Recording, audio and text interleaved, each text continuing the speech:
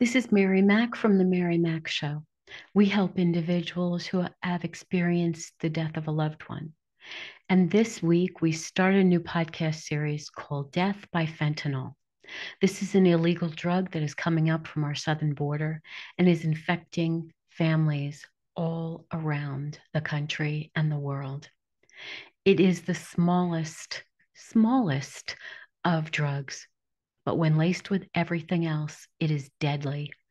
If you are even attempting to take illegal drugs, please call 988 and get some help.